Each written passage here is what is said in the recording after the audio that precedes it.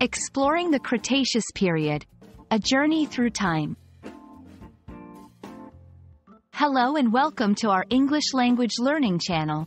Today, we're going to embark on an exciting journey back in time to understand the Cretaceous period.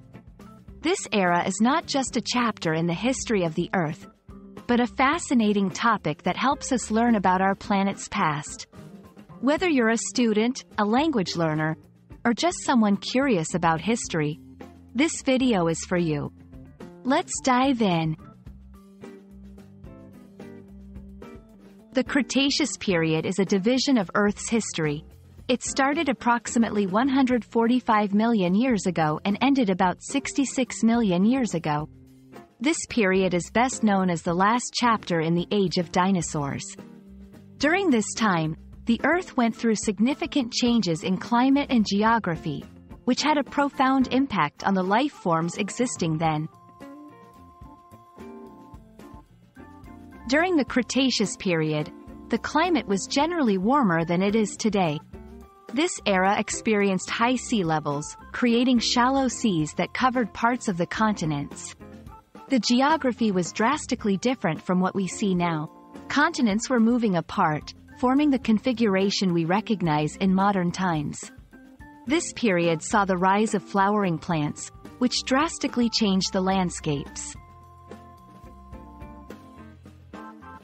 The Cretaceous period is famous for its dinosaurs.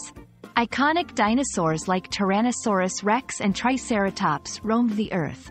This era witnessed the peak and then the sudden extinction of dinosaurs, which is a topic of great interest and study.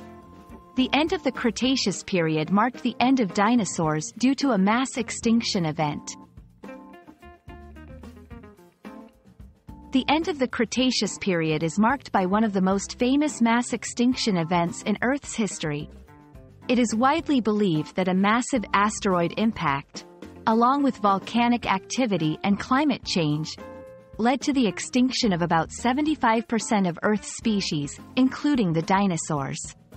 This event paved the way for mammals and eventually humans to become the dominant life forms on Earth. Thank you for joining us on this fascinating journey through the Cretaceous period. We hope this video has been informative and helpful in understanding this crucial chapter in Earth's history. Remember, learning about our planet's past helps us appreciate the present and anticipate the future. Stay curious, keep learning, and we'll see you in our next video.